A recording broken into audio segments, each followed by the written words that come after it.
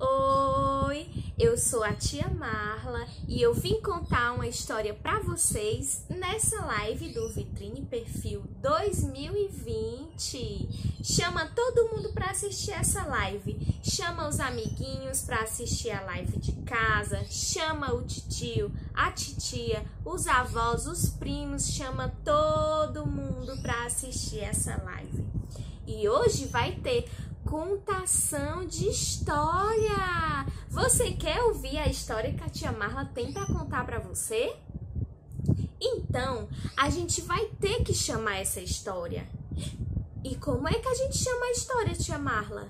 Vamos cantar uma música que a história chega até a gente. E a musiquinha é assim.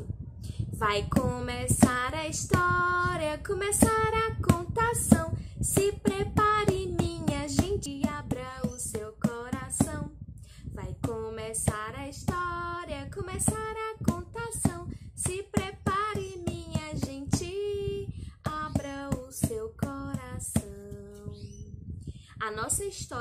Hoje é sobre as meninas bondosas.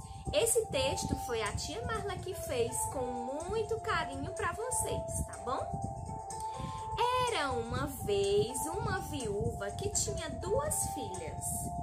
Uma se chamava Helena. Ela era doce, educada, sempre agradecia as pessoas, sempre cumprimentava e gostava muito de ajudar. O nome da outra filha é Sofia. A Sofia só vivia irritada de braço cruzado. Qualquer coisa que a mãe dela pedisse, ela dizia: Não, eu não vou fazer, mamãe. Tudo ela se irritava. Ai, ai, a Sofia era uma garota muito difícil. Um dia, a mãe dela pediu para ela ir buscar água na fonte. Então a Sofia respondeu: Eu não vou. Peça a Helena para ir buscar água, porque eu não vou. Então a Helena disse: Tá, mamãe, eu vou buscar água para a senhora. Por favor, só me dá a garrafa. Então a mãe dela deu a garrafa para a Helena. E a Helena foi com a sua garrafa rosa até a fonte buscar água. Enquanto ela ia no meio do caminho, ela ia cantando: Eu vou buscar água, eu tô feliz, tá legal. Eu vou buscar água, eu tô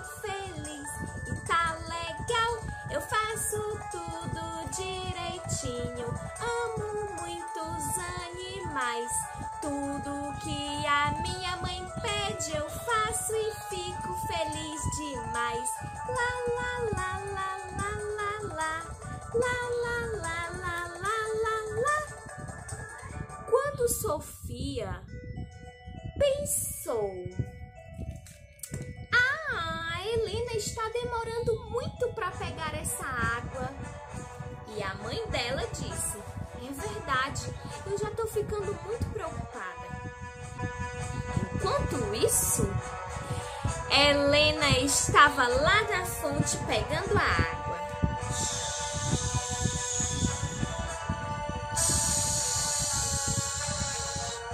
Enquanto Helena pegava a água, de repente surgiu uma pessoa uma velhinha, uma senhora muito bondosa. Oi, minha querida, eu estou com tanta sede. Será que você poderia me dar um pouquinho da sua água? Ai, já faz três dias que eu não bebo água. Helena imediatamente pegou a sua garrafa com água e deu para a boa senhora. Pode ficar. Pode levar até a garrafa para sua casa. Depois, a mamãe manda eu vir aqui na fonte de novo com outra garrafa. Não tem problema, pode levar. Então, a boa senhora disse: Obrigada, minha querida. Eu estava com muita sede. De repente ela se transformou numa fada. Então Helena ficou assustada. Então, a senhora é uma fada? A fada respondeu: Sim, eu vi sua bondade, grande Helena. E porque você foi uma pessoa muito bondosa, eu vou lhe dar um presente. Repente, a Helena ficou transformada. Quando ela abriu sua boca, começou a sair flores, lindas flores. E também saíram diamantes e coisas preciosas começaram a sair da sua boca a cada palavra que ela dizia. Então, Helena foi para casa contente. Chegando lá, sua mãe disse: Helena, você demorou demais. E cadê a água que eu pedi para você buscar na fonte? Então, a Sofia, irritada, começou a falar. Eu não falei? Ela estava de demorando demais. A senhora não devia ter mandado ela ir. A senhora que deveria ter ido. Ela deve ter perdido a garrafa, deve ter jogado água no chão. Ela não sabe fazer nada. Então, Helena disse: Mamãe, assim que ela falou, saíram flores da boca dela, flores mais lindas que existiam naquele lugar. Elas ficaram assustadas. A mãe e a Sofia ficaram pensando: por que que tá saindo coisas bonitas da boca dela? Então, Helena resolveu contar a história. Mamãe, enquanto eu estava pegando a água da fonte, uma senhora estava com muita sede me pedindo água. Eu dei a garrafa para ela. E aí, assim que eu fiz isso, ela se transformou numa fada, mamãe. E ela me deu um presente. E o presente é esse. Tudo que eu falo sai coisas bonitas da minha boca coisas preciosas, rosas, mamãe, diamantes. Então, a mãe de Helena e Sofia ficou muito surpresa. E a Sofia começou a pensar: conseguiu ganhar um presente dessa fada, eu vou lá. Eu vou pegar água lá. E se eu ver uma senhora me pedindo água, eu dou e eu vou ganhar um presente. Então, na mesma hora, Sofia foi buscar água na fonte, com outra garrafa rosa. Passou o caminho inteiro resmungando. Aff, tá muito quente esse sol hoje. Ah, eu só vou por causa dessa fada. Ai, que coisa chata, esse caminho é muito longe. Eu não tô mais aguentando esse caminho. Chegando lá, ela começou a colocar a água da fonte na garrafa.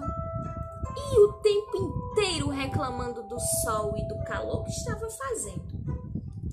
De repente, apareceu um cachorro.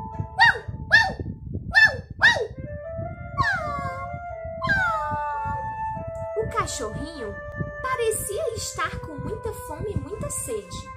Então, a Sofia chegou perto do cachorro e disse: Cachorro chato, sai daqui, show, show, show! Se a fada me vê com você, ela não vai me dar o meu presente. Ah, eu não vou te dar minha água, seu cachorro chato, eu também não tenho comida para você. Show, show, show, show, show! O cachorrinho ficou chorando muito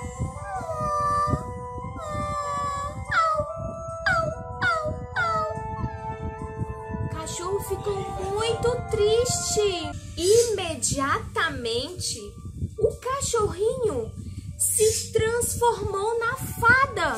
Sofia ficou assustada e a fada lhe disse: Sofia, eu sou a fada e eu vim aqui para ensinar que as pessoas têm que fazer o bem para todo mundo, até para os animais. Eu tô muito triste com a sua atitude, Sofia. Então, a Sofia olhou para a fada, assustada ainda, e disse: Mas eu não sabia que você era fada. Eu vim te procurar. Eu ia te dar água, mas eu vi um cachorro e ah, eu não gosto de cachorro. Ah, me desculpa. Então, a fada falou para Sofia: Sofia, Sofia, você tem que aprender a gostar e ajudar as pessoas, até os animais. Você sabe que eles são nossos amigos também?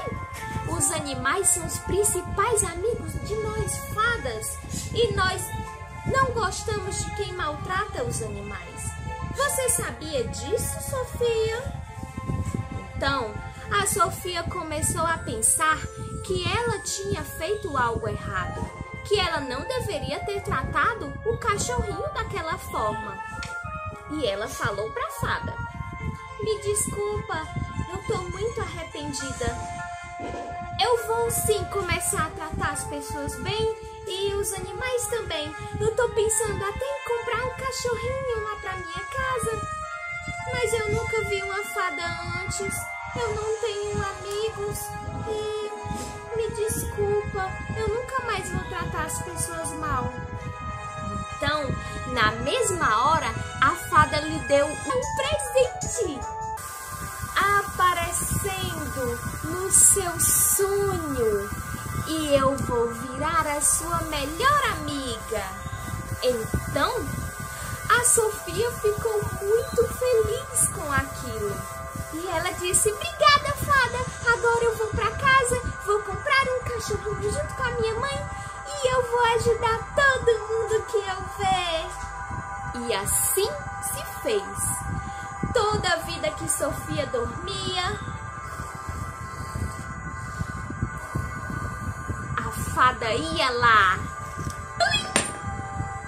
e aparecia com lindas rosas no sonho de Sofia. E toda vida que Helena falava, saíam flores preciosas da sua boca. E essa história terminou assim.